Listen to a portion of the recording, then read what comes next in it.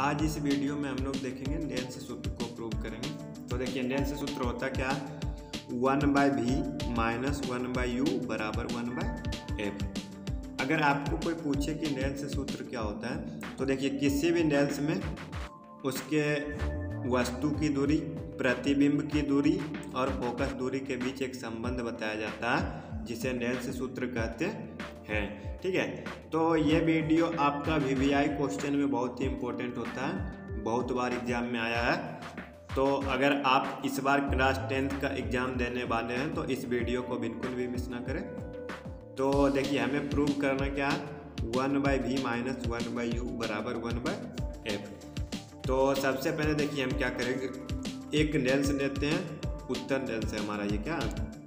उत्तर nails तो देखिए, एक लेंस है हमारा, जिसका ओ हो गया प्रकाश केंद्र। फिर देखिए, लेफ़्ट साइड होता है F one two F one F two और फिर टू एफ़ टू ठीक है? अब देखिए, हम जो है ना, एक वस्तु लिए ए बी ऊंचाई का एक वस्तु लिए तो इससे प्रकाश की किरण चलते हुए हमारे फोकस से गुजरेगी एफ़ टू से। और दूसरी किरण जो है वो हमारे प्रकाश केंद्र से गुजरेगी तो दोनों यहाँ पर मिलने के बाद ए डैश बी डैश का प्रतिबिंब बनेगा, ठीक है? अब हम लोग देखेंगे इस उत्तर लेंस में, यानी सबका नामकरण कर देते हैं, ठीक है? सबका नाम लिख देंगे। ओ देखिए हमारा क्या है? ओ है प्रकाश केंद्र। ओ बी वस्तु की दूरी जिसे हम लोग यू से डोनेट यू से करते हैं सूचित ओ बी डैश प्रतिबिंब दूरी ओ बी डैश प्रतिबिंब दूरी और ओ एफ़ टू, फोकस दूरी जिसे हम लोग एफ़ से सूचित करते हैं, ठीक है? तो इसके बाद देखिए, हम लोग देखेंगे। यहाँ पर देखिए। ए, बी, ओ, अगर किसी भी त्रिभुज में देखिए, अगर किसी भी त्रिभुज का दो या तीन कोण आपस में बराबर हो, अगर दो कोण भी आपस में बराबर होते हैं तो वो त्रिभुज समरूप होता। तो देखिए, त्रिभुज ए बी ओ और त्रिभुज A dash B dash O dash में। बी नाइन्टी डिग्री है और बी डैश भी नाइन्टी डिग्री है। तो इसका एक कोण ये बराबर हो जाएगा और दूसरा देखिए A O B A dash O B dash ये हमारा दोनों क्या है? सम्मुख कोण है? यानी शीर्षाभिमुख कोण है? तो ये आपस में बराबर होते हैं। तो देखिए, यहाँ पर अब हम लोग लिख देंगे। ए बी ओ और A dash B O dash समरूप है। तो क्यों? देखिए ए बी ओ और A dash B dash O ये समकोण था। और A O B A O B dash ये सम्मुख कोण था, ठीक है? यानी ये हो गया हमारा बी हो गया समकोण से बराबर? और ये दोनों आमने सामने का कोण जो होता है, जिसका इस तरह से मुँह आपस में मिला हुआ हो तो वो आपस में बराबर होता है सम्मुख कोण के कारण। ठीक है तो अब देखिए, अगर दो कोण बराबर हो गया तो तीसरा भी बराबर होगा बट हम दो ही से काम चला देंगे। ए ए समरूपता से ट्राइंगल ए बी ओ समरूप triangle A dash B dash O dash ठीक है, अब हम लोग देखते हैं, देखिए। अगर दो त्रिभुज समरूप होता है तो उसका क्या होता है? उसको हम लोग आधार और ये जो होता है, दोनों भुजा को हम लोग संगत भुजा को, दोनों त्रिभुज के संगत भुजा को हम लोग बराबर कर देते हैं। तो देखिए, ए बी बटे A dash B dash equal to, यानी इधर एक तरफ़ हम लेंगे वस्तु की ऊंचाई, दूसरी तरफ़ प्रतिबिंब की ऊंचाई और फिर लेंगे ओ बी और ओ बी डैश तो देखिए ए बी बटे ए डैश बी डैश बराबर ओ बी बटे ओ बी डैश तो ये हो गया हमारा समीकरण फ़र्स्ट। अब हम लोग चलेंगे समीकरण, देखिए आगे में करेंगे। देखिए, आगे अब हम लोग देखते हैं इसी त्रिभुज में। यहाँ हमने एक नाम दे दिया सी यहाँ पर देखिए, एक त्रिभुज सी ओ एफ़ टू ठीक है? या ओ सी एफ़ टू और फिर इधर देखिए। A dash B dash F two इसमें देखिए, ये बांधा हमारा 90 डिग्री है। ठीक है? और ये दोनों सम्मुख कोण है तो ये दोनों भी आपस में क्या हो जाएगा? बराबर हो जाएगा। तो इस बार देखिए, हम लोग लेते हैं। देखिए। त्रिभुज O C F two O C F two समरूप ए डैश एफ़ टू यानी A dash B dash of F two ठीक है? A dash B dash F two तो अब देखिए, दोनों का संगत भुजा को बराबर कर देंगे। सी ओ बटे इसकी ऊंचाई हो जाएगा। बी डैश ए डैश ठीक है? सी ओ बटे ए डैश बी डैश बराबर ओ एफ़ टू ठीक है? देखिए ओ एफ़ टू बटे B one F two B one F two ठीक है? अब देखिए। यहाँ पर फिगर में देखिए।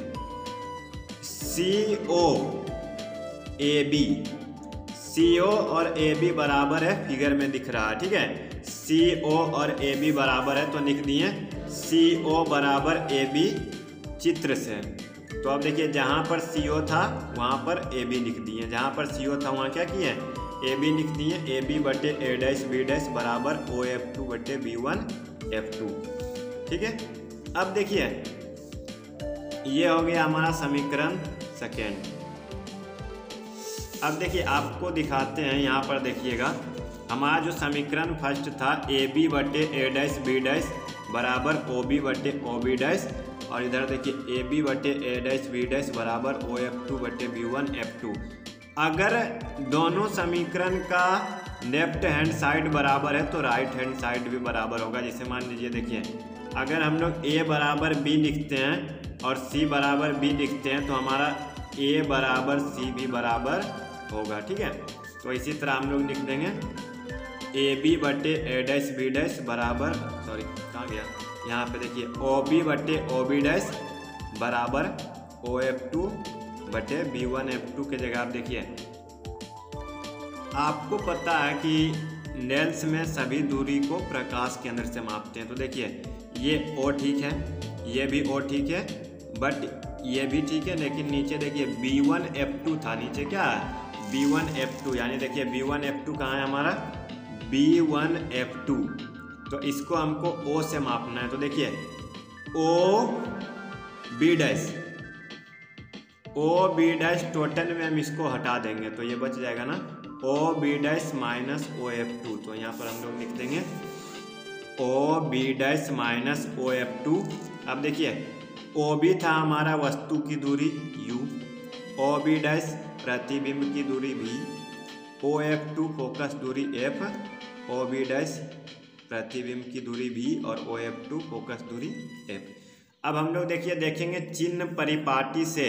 तो चिन्ह परिपाटी में देखिए आपको, चिन्ह परिपाटी में लेंस के बाई और सभी धना, ऋणात्मक यानी निगेटिव और दाई और सभी पॉजिटिव यानी प्लस तो देखिए, सिर्फ़ हमारा वस्तु का दूरी जो है वो माइनस में हो जाएगा, यानी माइनस यू बटे भी बराबर एफ़ बटे भी माइनस एफ़ अब हम लोग कर देंगे क्या? Cross multiplication. Minus u into v, minus u v. Minus into minus plus u f बराबर भी एफ़, ठीक है? अब देखिए, हमें ऊपर में एक लाना है, हमें प्रूव करना है वन बटे एफ़ बराबर वन बटे भी माइनस वन बटे यू। हमें ऊपर में एक डालना है, सभी के ऊपर में एक डालना है और नीचे एक बार भी डालना है, एक बार यू और एक बार एफ़। तो हम क्या करेंगे?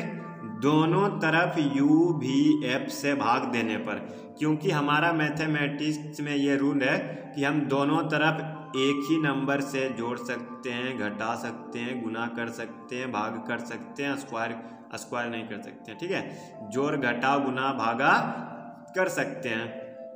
बट दोनों तरफ़, क्योंकि देखिए, ये दोनों तो फिर कट जाएगा तो एक ही होगा तो एक से तो हम गुना भागा कर ही सकते हैं ना। तो अब दोनों सब में क्या किए हैं? यू भी एफ़ से भाग कर दिए। तो देखिए यू भी कट गया तो बचा ऊपर माइनस वन बटे एफ़ यू एफ़ कट गया तो बचा भी भी एफ़ कट गया तो बचा हमारा यू यानी माइनस वन बटे एफ़ प्लस वन बटे भी बराबर वन बटे यू अब देखिए वन बटे एफ़ को राइट साइड में, यानी इसको समझ लीजिए, कर दिए हैं, ठीक है? बराबर वन बट्टे भी ये इधर चला गया माइनस वन बट्टे यू अब फिर इसको दिए, सिर्फ़ इसको इधर लिख दिए, ठीक है? यानी यहाँ पर देखिए वन बट्टे एफ़ यानी ये हमारा वन बटे भी है ना? माइनस वन बटे यू को लेफ़्ट साइड किए और माइनस वन बटे एफ़ को राइट साइड किए। बस इसी को सिर्फ़ वन बटे एफ़ को आगे कर दिए, बराबर वन बटे वी माइनस वन बटे यू। तो देखिए, हमें यही प्रूव करना था नेल्स फॉर्मूला। तो ये आज हमने नेल्स फार्मूला को प्रूव कर दिया, ठीक है? तो अगर वीडियो पसंद आई हो तो वीडियो को एक लाइक अवश्य करें और इसी तरह की और वीडियो देखने के लिए चैनल को शेयर एंड सब्सक्राइब करें। धन्यवाद। जय हिंद।